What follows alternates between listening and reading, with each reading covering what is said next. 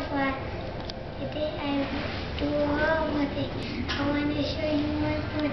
show you my project.